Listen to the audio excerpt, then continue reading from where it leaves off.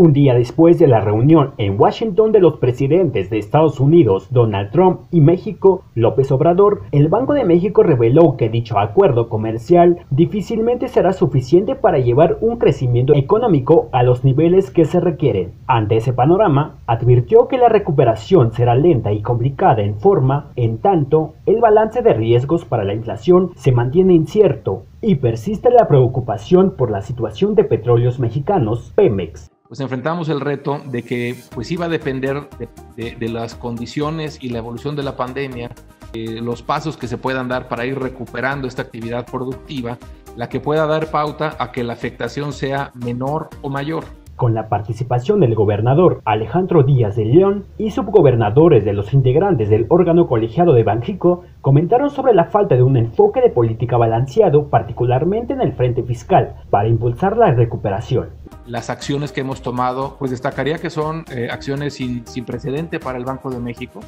la mayoría de los miembros de la Junta de Gobierno del Banco Central coincidió en que el balance de riesgos para el crecimiento se mantiene significativamente sesgado a la baja y destacó el riesgo de un nuevo brote del COVID-19. Por último, los integrantes de la Junta de Gobierno de Banjico expresaron su preocupación del sector empresarial por el Estado de Derecho, la inseguridad, el deterioro del marco institucional y la orientación de algunas políticas públicas del gobierno federal. Reportó para Canal 6 Saqueo Bautista.